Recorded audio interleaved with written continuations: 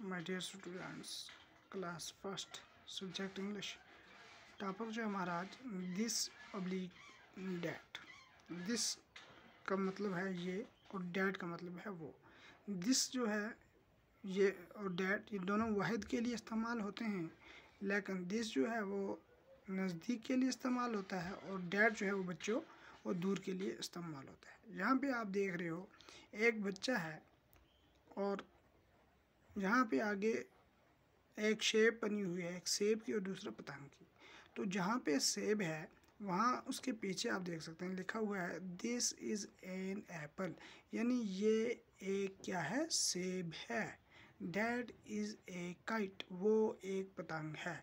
यहाँ पे सेब के पीछे दिस इसलिए इस्तेमाल हुआ क्योंकि ये नज़दीक है। दिस इज़ एन एप्पल ये एक सेब है। यानी ये नज़दीक के लिए डैट दूर के लिए डैट इज़ ए काइट वो एक पतंग है। पतंग थोड़ा दूर है, इसलिए उसके लिए डैट का इस्तेमाल हुआ और दिस नज़दीक के लिए इस्तेमाल हुआ।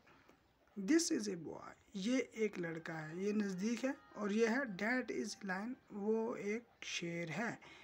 ये दिस नज़दीक के लिए और डैट दूर के लिए इस्तेमाल किया जाता है। दिस इज़ ए कैट ये एक बिल्ली है। डैट इज़ ए मंकी वो एक बंदर है। दिस इज़ ए डॉग ये एक कुत्ता है। डैड इज़ ए स्पून वो एक चम्मच है।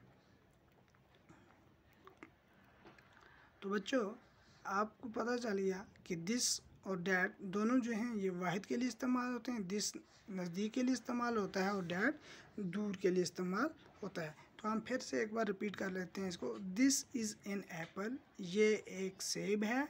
डैट इज़ ए काइट वो एक पतंग है। दिस इज़ ए बॉय ये एक लड़का है। डैट इज़ ए लायन वो एक शेर है। दिस इज़ ए कैट ये एक बिल्ली है। डैट इज़ ए मंकी वो एक बंदर है। दिस इज़ ए डॉग ये एक कुत्ता है। That is